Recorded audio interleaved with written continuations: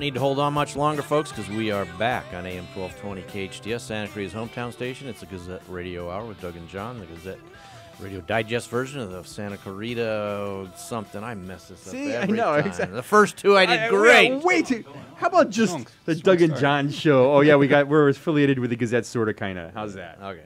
Okay, but you know what time it is? We're the militant It's- wing of the Santa Clarita Gazette. The military. the Santa Clarita Gazette for people who don't read. All right, you know what time it is. I think so. He's sitting in there. He's sitting in here. You've heard him. You know him. You love him. You, you pull over to the that side of the you pull over to the side of the road just so you can listen to him. I pull over when I see him coming in that truck. the man, the myth, the Yet- legend. Yet every week he comes back for more abuse.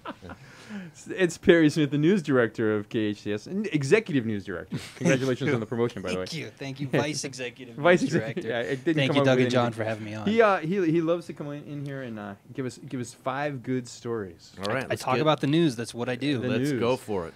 Um, unfortunate first story. There was a burglaries, burglary vandalism incident at Pine Tree Elementary, and that's just terrible. And I bring it up because if anybody knows, these hooligans who jumped the fence got caught on camera and stole some iPads and broke all the doors, and then stole a set of master locks. So every single door in that entire campus has to be rekeyed. Then please come forward and call the sheriff's station. Now, did they get a good look at him in the 255-1121. Is there a good? Re- They do have video. Um, those things always have uh, different levels of quality. So I, I mean, without me personally seeing the video, I couldn't tell you how That's how well it is. But it's um, sure they have some evidence. I'm sure they Yeah. have some fingerprints. I don't know if these uh, geniuses wore gloves. I, like I said, I hadn't seen the video, so I just hope that if somebody hears something, somebody got an iPad offered to them on a discount off the back of the truck, that they, uh, you know, report it because I'm sure they know the serial numbers for this stuff, and I'm Yeah. sure that you know that stuff. Um, hopefully, get back to the kids because when you steal from a classroom, you're stealing from, the kids. That's that's the tough part. Um, so, uh, so moving right along, let's just get a little more. It's a little cheery, I hope. I don't know. Are, are Positive? gnats cheery? No, I'm not gonna go too far because this is this was brought to me. I saw it on Facebook, and a shout out to Stacy Fortner. Um, she brought it to our attention, posted it, and then a lot of other people chimed on. There are gnats at Central Park. Hey, Allegedly. probably, you know, City- mosquitoes. breaking news: There are gnats at Central Yeah. Park. No, wait, you're saying there's There's gnats? gnats in my backyard too. No, I mean uh, gnats, as far as those little bug Gnats. things. Gnats. Gnat- Gnats. gnats. Gnats. Yes, for those who are illiterate. or I like to talk phonetically. That's right. Okay, fair enough. You win that round, John. Um, but yeah, no, I, I don't know as far as like I personally have not experienced this, but I saw the post and a bunch of other people jumped on. Santa Clarita sent down some uh, vector control inspection and they failed to yield the problem. Uh, but the people were saying that their dogs were like covered in gnats. They were covered in gnats. They couldn't shake them off. And you know, it's it's unfortunate just because Santa Clarita's concerts in the parks are going on right now at, at Central Park, and that's a great um, city event. So you you hate to get Yeah. bugged by gnats. Bugged by gnats. Hey. What I did. You there. know that was that, that's that's not funny. I'm out. I'm out. Goodbye. you only get two for that. Two. Um, no, it's just another story we did that I, I thought had a high um, level of interest based on the uh, emails and texts and messages. Was the Santa Clarita Valley. Um, some friends, uh, some volunteers of the Castaic Animal Shelter posted some concern about some unlicensed trainer uh, that was out there, and we named him in the story, so you can check it out at hometownstation.com if you want the the, the detail details.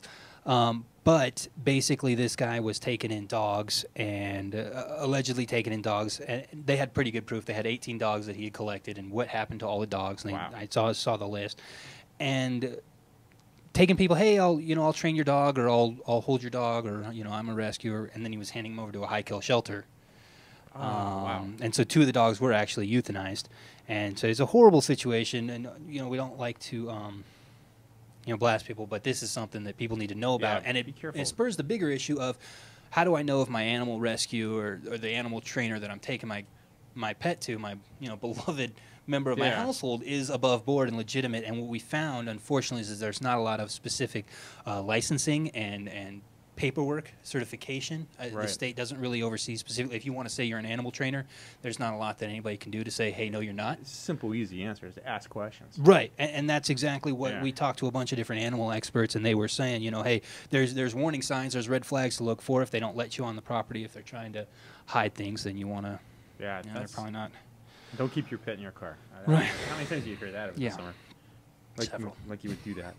Several. Are we are we good, Peter? Can I we're keep good. going? We're good. Keep going. Have one minute. me- Um, the drought is still going on. It's still a thing. It still Yeah, hasn't rained like- in in. Uh, we got a little trickle earlier this month. Doug's not happy about it.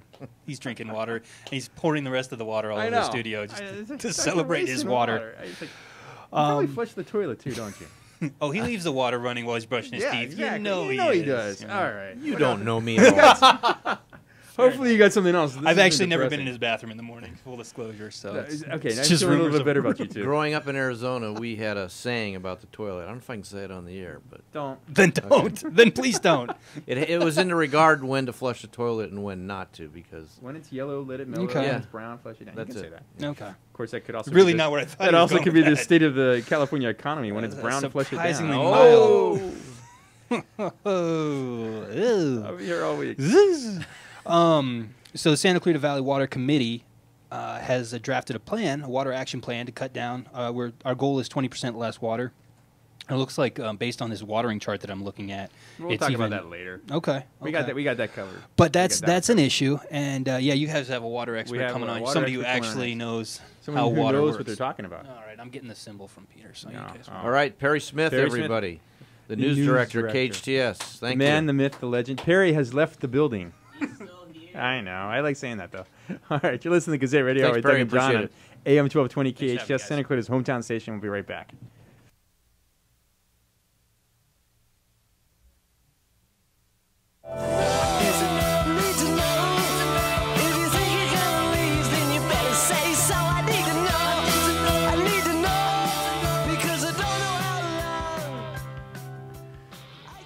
John, I heard Tom Petty has a new album out. Have you heard it? Uh, no, but I do have tickets to his concert. Oh, you'll probably hear some of the songs. Uh, Probably. Anyway, folks, this is Santa Cruz hometown station, AM 1220 KHTS. You are listening to the Gazette Radio Hour with Doug and John. It's a radio digest version of the Santa Cruz Gazette and Free Classifieds for all you need to know to be in the know. You right? got it right. You should just play that, I tape it, and play it. right. All right, so we have we, we were talking with Perry about the the, the, the drought, Right. and we have a, our water expert on Maria Gutzeit. Maria, you're there, I hope. Yes, I am. Hi, you guys. Hi, Maria. Hey, we haven't heard a lot from you since that uh, spirited run for city council. You caused a lot of people to stop and think. How you been holding on? Oh, good. I'm happy to have some new challenges with these water issues. So, you know, I, I love staying involved in Santa Clarita, and we definitely got a lot going on right now with water. Now you're vice president of the board of the Newhall County Water District. Is that right? Correct. Yeah. Correct. So what? uh, Doug would Doug I was at, I told Doug that, and he goes, "What does that mean?" Um, well, our we're a retailer, one of four retail water agencies in Santa Clarita, and our board sets the policy for our water district, much like the city council sets the policy for the city staff. now the district is is is it? It's not all of Santa Clarita, right? No, we we actually were the first water agency in town, and we served everyone that was not a private water company. So we serve essentially a lot of the outlying areas: the Newhall, Castaic, Tesoro, and Pine Tree are our big chunks of service area. And just for our listeners, who are the other ones? The other ones are District 36 is the LA County Waterworks District, which serves Val Verde. Then you have Santa Clarita Water and Valencia Water, uh, which used to be private but now have been purchased by Castaic Lake Water Agency. And Castaic Lake Water Agency is the wholesaler. Is that the best way to describe them?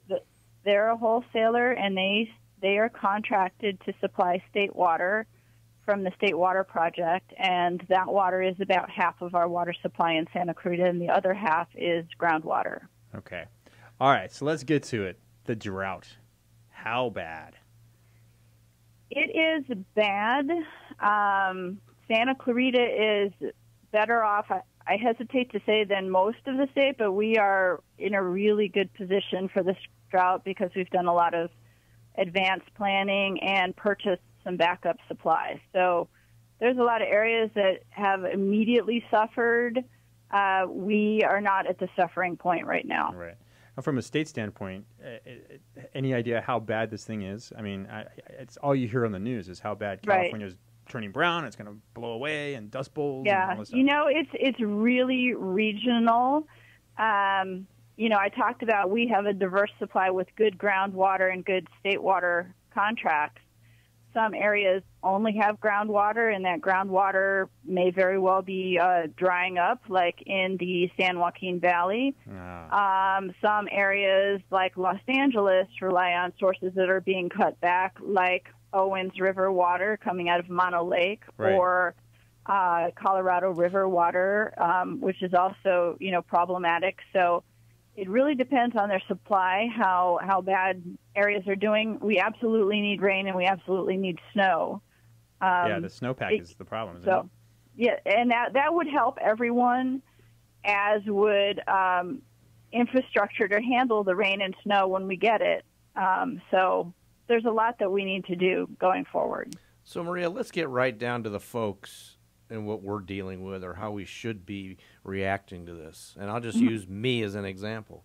I've mm-hmm. cut back on my watering, and uh, unfortunately, I bought a house that has a lot of grass about s- mm-hmm. six, eight years ago.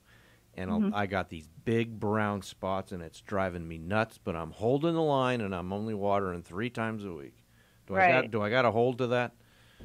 Um, well, technically, today, no, you do not, because the water agencies have not adopted their individual policies yet. We were working on a draft earlier this week, and it has to go through all their all the individual boards uh, before it's legal um, or le- legally binding on you. Um, absolutely, everybody should uh, conserve as much as they can, and the and the main thing that we can do is uh, minimize the runoff. Um, you know, so make sure when you're watering, it's going on your lawn and not in the street. Right. But um, you know, one thing for pe- that I don't think is being talked about is urban water use in the state of California is only 20% of the state's water use.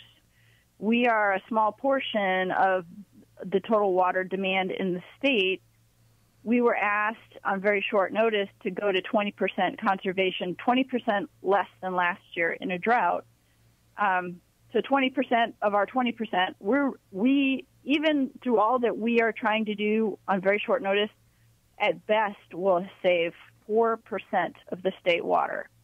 So not only do we need to work locally, we absolutely need to work at the statewide level. Right. And I don't want people to forget that, that, Yeah. that if we, we suffer our brown lawns, we're done because we are absolutely not done. Yeah. What's the other 80%? I mean, if 20% Uh, the other 80% is a combination of ag and environmental uses, which includes, you know, minimum flows for fish habitats, Oh, wow. uh, water for hydroelectric, and things like that. So, you know, I tell people we're going to do our part, but we shouldn't be flogging ourselves for having grass because really that is not the big problem. I mean, we we need drought tolerant landscaping, but we're not bad people living in this city because we're not the majority of the water use in the state. wow. Now, when you drive through, like the Bakersfield area in the Central Valley, and you Yeah. see the signs up about they farmers are feel they're being cheated out of the water flow, Oh, is yeah, that that- because of the uh, the fish situation? Do I have that right? Well, actually, they are. Some of them are on the same water supply we are coming out of the Sacramento Delta. Some of them have another water project that runs basically in the Central Valley. Um, people are, you know, we're all very happy that we turn on the tap and the water comes out, but there's this huge legal, uh, you know, lawyer-filled uh, industry going on with water contracts and lawsuits over fish or environment or you know uh, farming industries, uh, other regulated industries, Yeah. water quality. Um, it is very complex, and I would say essentially we're not really affecting the farmers who sign Sioux State. They are largely on groundwater Right. there, and they're also largely on another uh, water project in the Central Valley called actually the Central Valley Project. Hey, Maria, can you hang on and uh, hang over the break for us? sure. Okay, thank you. Great. All right, you're listening to Gazette Radio Hour with Doug and John on AM 1220 KHTS, Santa Clarita's hometown station. We'll be right back with Maria Gutzeit of the Newhall County Water District.